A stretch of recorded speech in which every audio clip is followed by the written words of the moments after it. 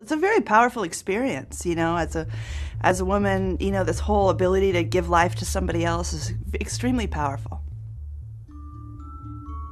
One thing that Pam and I both noticed when we were going through, um, before we even had children, we were going through medical school, was how uh, pregnancy and birth were treated more like a disease. A medicated birth was just something that I thought was normal. I thought you go to the hospital and you get whatever pain medication you need because everybody I knew did that. With my first birth, it was a hospital birth and I got an epidural so I wouldn't have to go through that painful experience. I had a girlfriend who, oh, I was in the hospital and it was great. I didn't feel a thing and I watched TV the whole time. I had the remote in my hand. Uh, I didn't want to be watching TV while my baby was being born. I wanted to be there while my baby was being born. What we wanted was to avoid any and all interventions, minimize the interventions because every intervention brings risks so many of my friends, so many women go, th- you know, they always say, oh, you got to do the drugs. You know, what, you're crazy not to do the drugs. But to go through a natural birth is so empowering.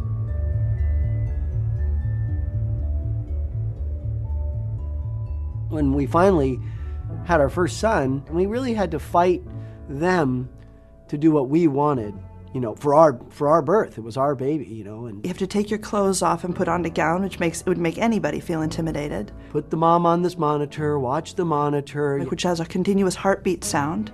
No, you can't get up and walk around. A lot of different nurses changing shift at the hospital. Then you got people coming and checking on you who you don't know. You may not even get the doctor that you've been consulting with the day you deliver. Put the patients on drugs to help the delivery. I'm on drugs, I've got this thing in my spine. And then the whole thing stalled at that point. You're not progressing. The baby's not progressing. There's a risk of whatever. So immediately she grabs the vacuum Like, okay, there's the head. Pull, pull. Pulls the baby out. It was very disappointing. I thought that the baby was taken by force, you know, and he wasn't allowed to come naturally. I was completely oblivious of the effects of Pitocin and epidural that that has on the baby. I didn't discover that until after she came. In the hospital, procedures are necessary for things to run smoothly. Unfortunately, the procedures that they need to keep the establishment safe will prevent the progress of labor, which means then you have to do more interventions. So then one intervention usually leads to another intervention. She had no intention of having a um, epidural or having a vacuum extraction, but she she got caught up in the snowball. It, it's it's not her fault. Uh, I'm an anesthesiologist. I do put in a lot of epidurals, actually, and um, it's through putting in a lot of epidurals that I've had a lot of experience with pregnant women. And she didn't quite state it, but our biggest fear was having a cesarean section. The C section rate's over 50% on my street. I think that doctors are wonderful. I think that the nurses and the staff at the hospitals have the best intentions. But when you look at the statistics, And actually, if you read the data, the read the literature, it tells you that the monitors and, and the use of epidurals have actually increased the rate of C-sections. So Uh, C-sections are definitely not as safe as natural childbirth, and they're not as safe as they're not as safe as having a child vaginally and naturally. Women are, are not given full information about a C-section. That it's it's abdominal surgery, and it takes a long time to to recover from as well. it's more time consuming and labor consuming for them to help a mom get through a vaginal delivery. It's far easier and you know lucrative to be quite honest to take the baby you know through cesarean section. It's a scary thing. So, with a natural childbirth, you and the baby benefit. It doesn't make it a procedure and it doesn't put it on a timetable. It just allows us to do what we know how to do. I didn't plan on having a birth at home. I just wanted a natural birth. But the more I did the research, the more I felt that it would be easier for me to remove myself out of the hospital so I wouldn't have the pressure of getting the medication and, and all that stuff. So Really, what you need if you just want someone to support you and make sure everything's safe is you need a midwife. OBGYNs or obstetrics and gynecology, they specialize in the pathology of pregnancy and birth, meaning disease. They deal with uh, the diagnosis and treatment of complications, where midwives are trained in normalcy. We take on low risk women and we keep them low risk. We keep them healthy. We teach them about how to care for themselves and for their, their growing baby. A lot of people are under the misconception also that midwives they, they think things like oh they're uneducated, they don't have training, they're unprepared. They don't what what if there's an emergency? I had so much security because, you know, you go to a hospital and the doctor shows up when the head shows up. So you really get way more expertise if you're at home because Lori shows up when you go into, you know, labor. There's actually a labor and delivery team at her bedside while she's in labor. So we're monitoring the mother and the baby one on one. Lori's staff arrive to a birth with as much equipment as a neonatal ambulance. I carry all of all the same equipment that I have at the birth center with me. I'm a mobile midwife. I'm a mobile labor and delivery ER team is how I like to think of myself. And I actually went through and checked all their safety equipment and we made a list and sure enough they had everything that I would have needed. I felt more secure. I liked the security of knowing I'd have a trained professional, I'd have all that equipment. And then, of course, there are doctors on call and there's hospitals local. So when she came to me and said, Oh, I'm going to have it at a birthing center, I'm like, Good. the only question was, Well, gee, should we have it at home or should we have it at the center? I know we had to write a birth plan out for the midwives. I think it was just like call them when I'm ready and they come over and help me give birth. And it, that's basically what happened. It was the end of August. I was five days overdue. Well, I always try to deny that I'm in labor. I told my husband, I think the baby's coming. And my water broke, but I'll call you when things start happening. My wife seems to think she's having the baby. Get in the car!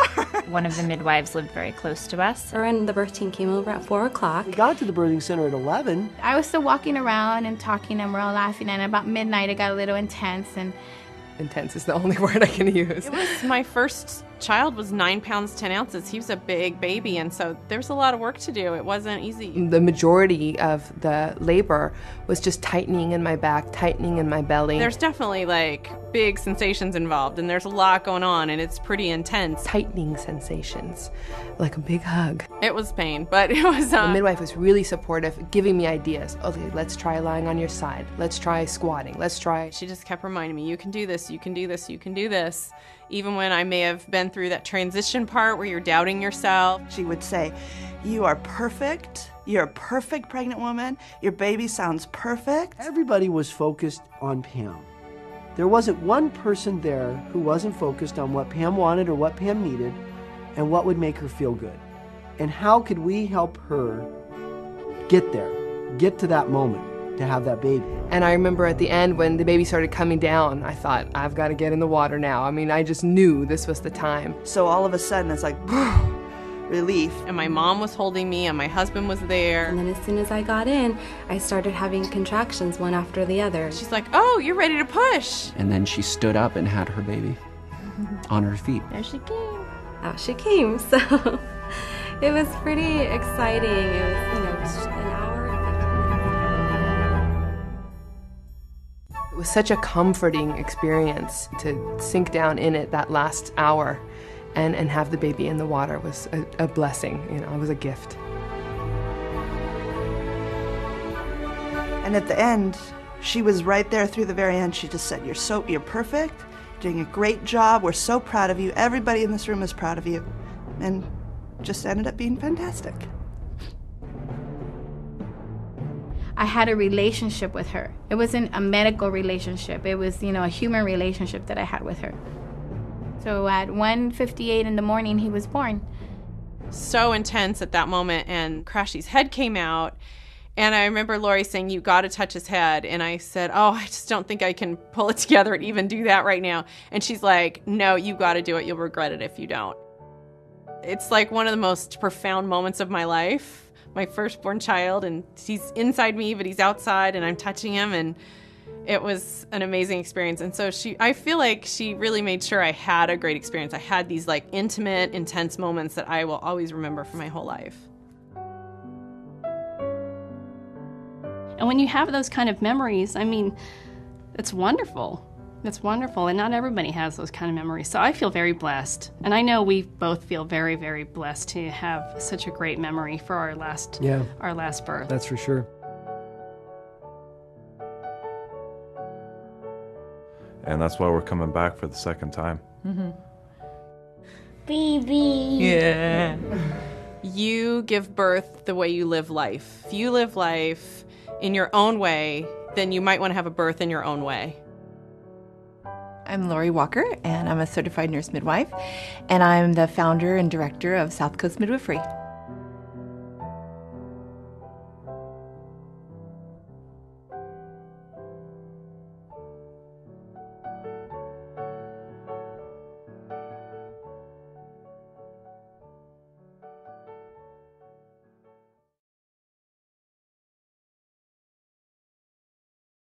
It's a very powerful experience, you know, as a as a woman, you know, this whole ability to give life to somebody else is extremely powerful.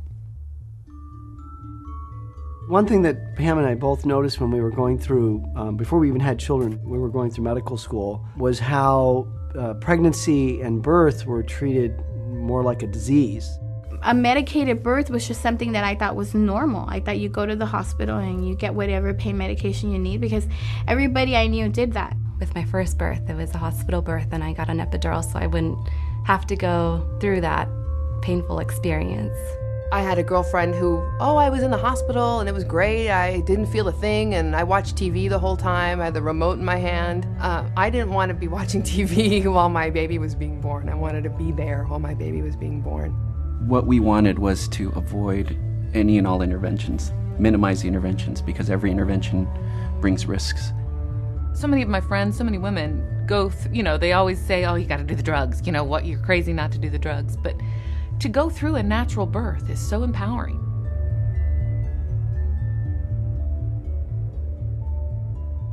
When we finally had our first son, we really had to fight them to do what we wanted you know, for our for our birth. It was our baby, you know, and You have to take your clothes off and put on a gown, which makes it would make anybody feel intimidated. put the mom on this monitor, watch the monitor. Which has a continuous heartbeat sound. No, you can't get up and walk around. A lot of different nurses changing shift at the hospital. Then you got people coming and checking on you who you don't know. You may not even get the doctor that you've been consulting with the day you deliver. Put the patients on drugs to help the delivery. I'm on drugs. I've got this thing in my spine. And then the whole thing stalled at that point. You're not progressing. The baby's not progressing. There's a risk of whatever. So immediately she grabs the vacuum. Like, okay, there's the head. Pull, pull.